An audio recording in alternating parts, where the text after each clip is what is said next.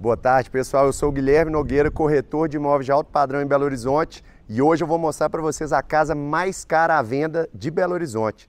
25 milhões de reais e ela também é a maior casa.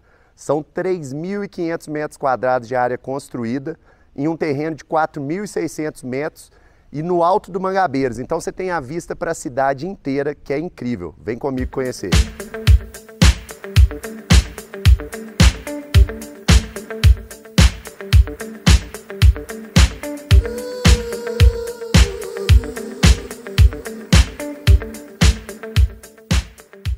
Você está preocupado com a segurança dessa casa, vem comigo conhecer isso aqui, ó.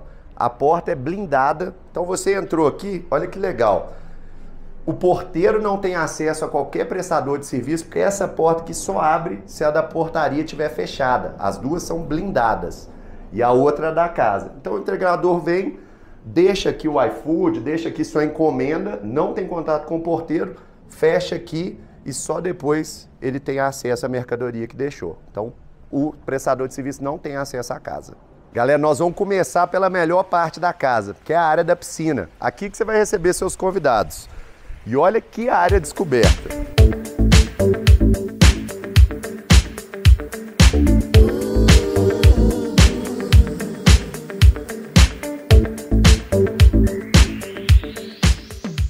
Então, chegando aqui, logo depois que você desceu a escada da sala, a gente tem uma cascatinha com um laguinho aqui, dá para você pôr uns peixes se você quiser, se tiver criança, os meninos cuidam dos peixes aqui.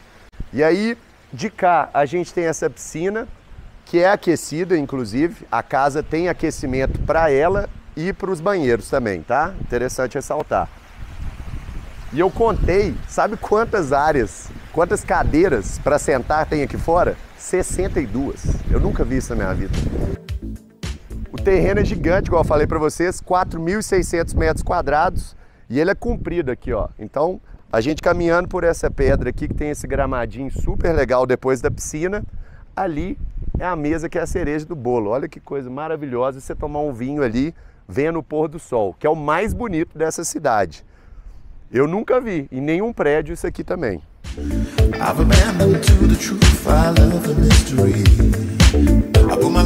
I've.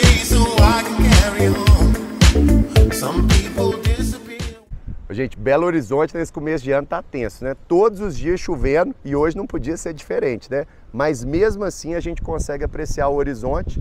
A gente tem uma vista simplesmente para a cidade inteira, 270 graus aí. Legal de mostrar esse terreno do lado também. Se você achou essa casa de 3.500 metros quadrados de área construída pequena, esse lote do lado também está à venda. Se você quiser fazer um heliponto, uma pista de esqui, porque aqui nessa casa tem tudo, né? E aqui é a segunda área que você vai mais usar da sua nova casa. É o espaço gourmet, que é toda integrada à sala e à área da piscina. E aqui você tem lugar demais também para sentar. E no final, uma churrasqueira ali. Legal ressaltar também que a bancada e aquela parte ali de acabamento é toda em granito imperial que é uma pedra de primeira linha caríssima.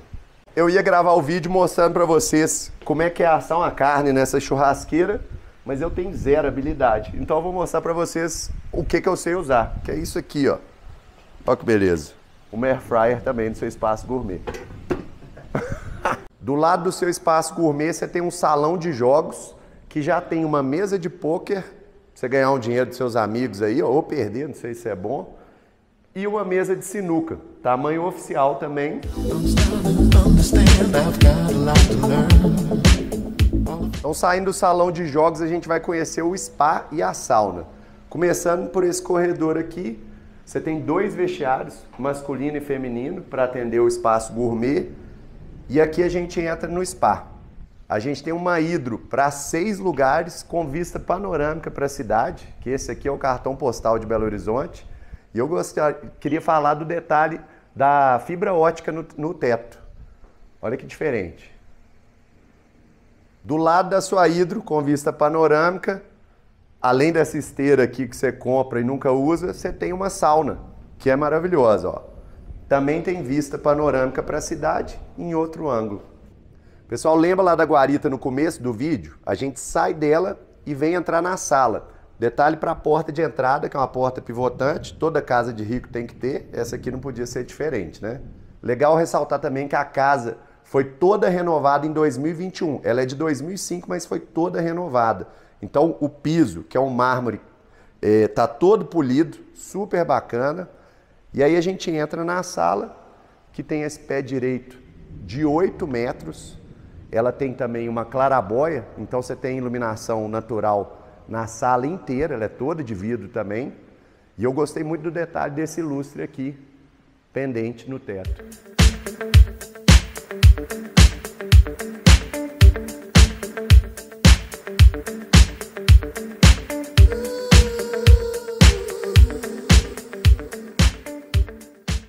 Do lado da sala de estar, a gente tem o acesso para mesa de jantar para 12 lugares e aqui no fundo um cinema. Uma casa de esporte precisava de um cinema, né? Vem cá, vamos ver, o que será que eles estão assistindo? O cinema, todas as cadeiras reclinam, o cinema é climatizado e tem isolamento acústico. E olha que legal, eles estão assistindo a gente lá no YouTube. Melhor impossível. Aliás, aproveitando, se você ainda não se inscreveu no canal, vai lá, se inscreve agora.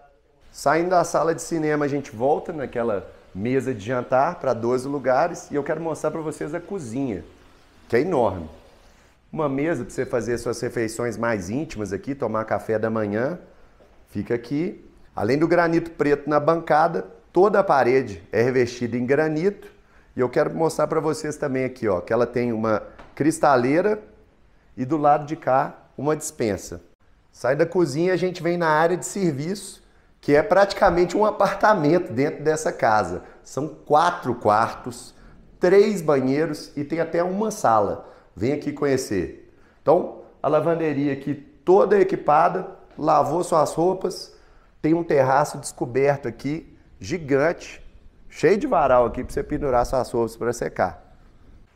Vamos lá conhecer os quartos agora? A gente volta passando pela sala de novo, perto da porta de entrada Legal falar que são seis quartos em dois níveis. Lá em cima, subindo a escada, são quatro suítes, todas com varanda. E aqui embaixo, a suíte master e um outro, uma outra suíte que eles transformaram em escritório. A porta de acesso para o hall dos quartos é blindada também. Então você tem a total segurança de estar dentro de um bunker. Então, no caminho de ir para os quartos, claro que você passa em uma das melhores partes da casa, na minha opinião, que é o bar. E ele também tem acesso à área externa.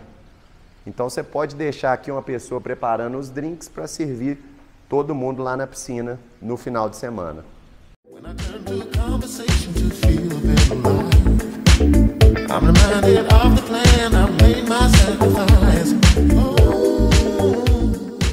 E o acabamento da casa é de primeira linha, né? No bar a gente tem, também tem aquela chapa de granito imperial na lareira também, aliás, é uma chapa só. Hoje em dia isso aqui é difícil você encontrar. E o piso é um mármore quartzo branco pela casa inteira, totalmente polido, igual eu falei para vocês que ela foi reformada em 2021. Então parece tudo novinho. Aí a gente vai no hall dos quartos, que tem a suíte master aqui embaixo. Detalhe na porta, que eu falei para vocês que é blindada. Olha aqui, vocês não fazem ideia o peso dela, tá? Olha lá, bateu aqui na porta, você sabe direitinho quem está do outro lado. Então, fechou aqui, tá tranquilo. Se você tem medo de dormir sozinho em casa, isso aqui resolve para você. Aí a gente chega no hall aqui, falei para vocês, são dois quartos aqui embaixo. Nesse primeiro, que é uma suíte, eles transformaram em escritório. E lá no fundo, que é a suíte master. Vocês vão pirar com o tamanho dela. Indo para a suíte master, a gente tem o um espaço de rouparia para atender os dois quartos aqui embaixo. E, e olha aqui essa suíte master. Entrou nela, a primeira coisa que você vai ver, vista para essa cidade que chama Belo Horizonte, não é à toa, né? O legal dessa casa é que você nunca mais vai ter que olhar a previsão do tempo. Como você não está no topo da cidade, e hoje a gente está vendo isso, começou o dia meio nublado, a gente viu a chuva certinho vindo. Então você pode avisar para seus amigos para desmarcar o futebol antes de todo mundo olhar a previsão do tempo. Aí a gente chega, piso todo em mármore, novinho. A cama king size aqui, tranquilamente cabendo aqui. Se você quiser, você pode até aumentar ela. Do lado de cá, ele fez um home office. Dá para você, às vezes, reverter isso aqui para um closet, por exemplo, mas nem precisa, porque tem mais dois. Nesse caminho aqui, a gente vai entrar nos dois closets e nos banheiros, senhor e senhora. Quem fica com qual? Não sei, você vai me contar. Então, entrou no banheiro, tá dando até eco de tão grande que ele é. Você tem uma banheira de hidromassagem, chuveiro,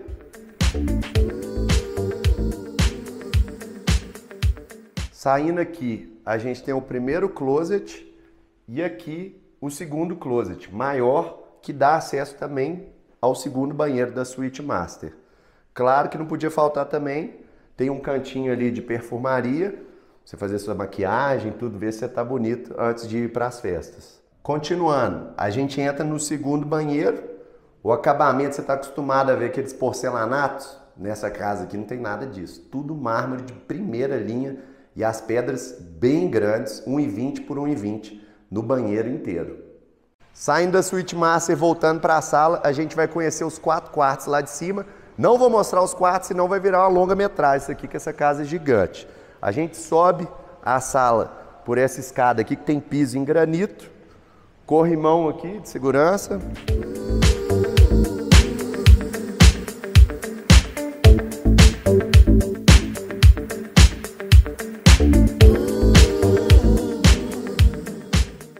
Então as quatro suítes do segundo piso também são fechadas com a porta blindada, mesmo que dá aquela segurança para a suíte master e para o escritório. E são, falei para você, são quatro suítes, todas têm varanda, todas com acabamento em mármore e essa vista para BH de brinde.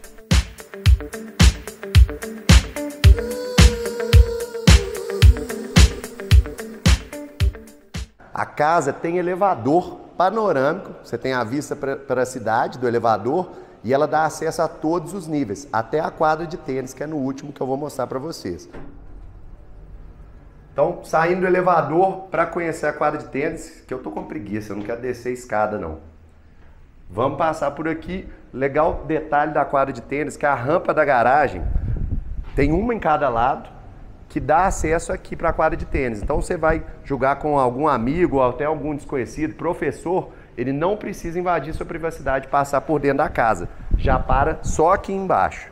E olha o tamanho dessa quadra de tênis.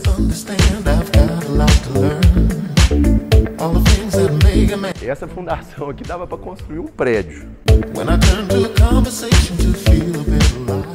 Então, apesar da gente estar em quase um galpão que essa quadra de tênis, com o pé direito alto, a gente tem abertura dessas portas eletronicamente, ó, de fora a fora.